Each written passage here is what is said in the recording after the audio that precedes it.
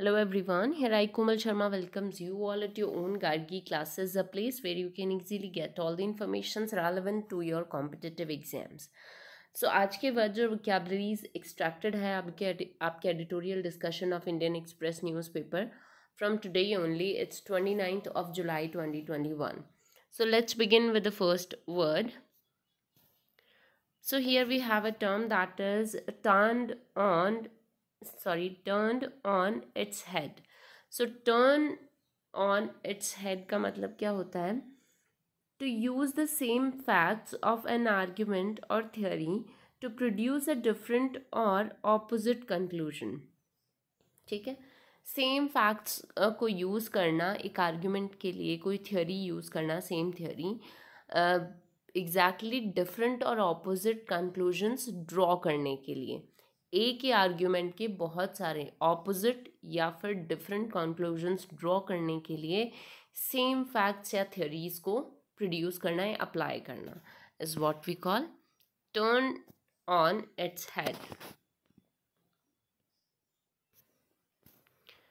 another word we have is मार मार is a verb मार का मतलब होता है इम्पेयर द क्वालिटी और अपियरेंस क्वालिटी और अपेयरेंस को जो चीज़ इम्पेयर करती है स्पॉइल करती है उसको मार बोला जाता है बेसिकली सो स्पॉइल करना या फिर रुइन करना are the synonyms for the word and improve and enhance are the antonyms.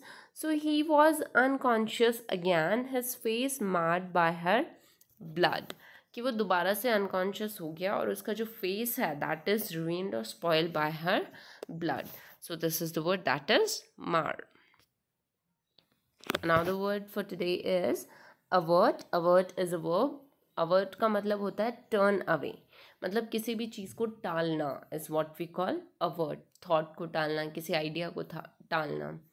So so, इसके सिनोनिम्स यूज़ करेंगे हम अवॉइड या फिर prevent and the antonyms are allow या फिर support so furthermore averting your eyes is dangerous and may result in an accident अगर आप कोई कार ड्राइव कर रहे हो कोई व्हीकल ड्राइव कर रहे हो और उस टाइम पे आप अपनी आइज़ को इधर उधर डाइवर्ट कर लेते हो तो definitely that uh, aversion or that averting may result into your accident. So this is the word avert. Next word is contradiction contradiction is a noun contradiction का मतलब होता है ए स्टेटमेंट फैक्ट और action that is opposite और different from one another कोई भी ऐसा statement fact कोई भी ऐसा एक्शन जो कि ऑपोजिट होता है विद अनादर किसी दूसरे के साथ. सो so, जब कोई दो स्टेटमेंट दो फैक्ट या दो एक्शंस एक दूसरे के ऑपोजिट होते हैं ठीक है? अलग अलग होते हैं. So this is the word contradiction so denial या रेफ्यूटेशन हम इसके लिए सिनोनिम्स यूज़ करेंगे। एंटनम्स आर कन्फर्मेशन या फिर reaffirmation so there were a number of contradictions in what he told the police कि बहुत सारे कॉन्ट्रडिक्शंस थे, उसने जो जो पुलिस को बोला, उसके स्टेटमेंट्स में कॉन्ट्रडिक्शंस थे। So this is the word next word is tread tread plays both the roles as a a और a noun और इसका मतलब होता है a मैनर ऑफ़ वॉकिंग जिस तरीके से एक आदमी या कोई भी पर्सन वॉक करता है, ठीक है, उसके जो फुट स्टेप का जो साउंड क्रिएट होता है बेसिकली उसको ट्रेड बोला जाता है। सो स्ट्राइड या फुट स्टेप हम यहाँ पे सिनोनिम्स यूज़ करेंगे. Antonyms are while the person rides और stays so he didn't want to tread in that direction so he change the subject कि वो उस डायरेक्शन में जाना ही नहीं चाहता था इसीलिए उसने अपना सब्जेक्ट uh, ही चेंज कर लिया. So this is the word that is tread Next term is tapestry. Tapestry, piece of heavy cloth uh, with pictures or designs sewn on it in colour thread basically एक heavy cloth का piece जिसमें pictures और design बनी हुई होती है ठीक है? और उसमें कढ़ाई का काम होता है बेसिकली जो कलर्ड जो थ्रेड होते हैं रंग बिरंगे जो थ्रेड्स होते हैं ठीक है? धागे होते हैं उनकी डिज़ाइन उनसे डिज़ाइन बनाई हुई होती है उनसे पिक्चर्स बनाई हुई होती हैं। सो so, उस पीस ऑफ़ वर्क को बेसिकली टेप्स्टरी बोला जाता है। Next word is mundane mundane as an adjective इसका मतलब होता है लेकिंग इंटरेस्ट किसी भी चीज़ में इंटरेस्ट का बहुत ज़्यादा कम होना। सो so, जब चीज़ें बहुत ज़्यादा डल मोनोटनस बोरिंग हो जाती है तो वहाँ पे मंडेन वर्ड का यूज़ होता है। सो so, इसके एंटनम्स हो जाएँगे एक्स्ट्रा ऑर्डिनरी या फिर imaginative so she completed the mundane daily household chores कि उसने अपने जो भी बोरिंग जो हाउस होल्ड कॉर्स है डेली जो हाउस होल्ड वर्क है वो कंप्लीट कर लिए हैं। Next word is cornucopia cornucopia is a noun इसका मतलब होता है an abundant supply of good things of a specified kind किसी भी स्पेसिफाइड तरीके की कोई बहुत सारी चीज़ें, ठीक है? गुड थिंग्स बहुत सारी मात्रा में जब सप्लाई की जाती है मोर देन इनफ क्वांटिटी में अगर कोई चीज़ सप्लाई की जाती है तो उसको बोला जाता है कॉर्नोकॉपिया तो और दूसरा इसका मतलब होता है an ornamental container shaped like a goat's horn एक ऑर्नामेंटल कंटेनर होता है बेसिकली जिसमें आप कोई भी चीज़ डाल सकते हो। तो और उस कंटेनर का जो शेप होता है, वो एक गॉड के होन की तरह होता है, ठीक है?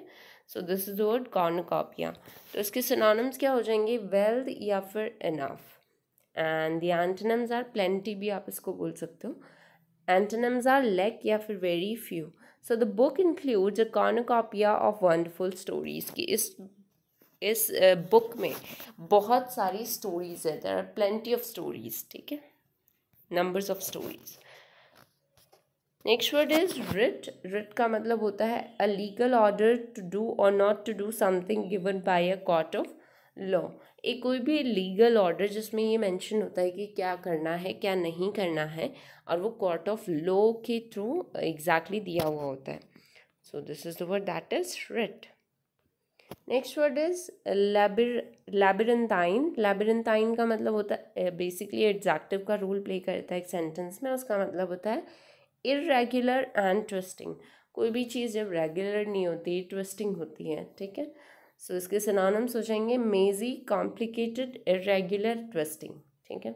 And the antonyms are simple और the by the things are very much straightforward so the heroine is vaguely threatened by spooky happenings in the labyrinthine mansion. So mansion basically labyrinthine का मतलब होता है जब चीज़ें बहुत ज़्यादा घुमा फिरा के कॉम्प्लिकेटेड तरीके से प्रेजेंटेड होती हैं। Another term we have for today is posterity posterity का मतलब होता है the future and the people who will live who will be alive then मतलब वंश आने वाली जनरेशन सक्सेसर्स आप बोल सकते हो ठीक है so this is the word that is posterity these so these are the words for today thank you so much stay continue with gargi classes and अगर आपको इस सेशन की पीडीएफ फ़ाइल चाहिए तो आपको डेफिनेटली टेलीग्राम चैनल पे मिल जाएगी channel का जो लिंक है वो डिस्क्रिप्शन बॉक्स में दे रखा है। Thank you.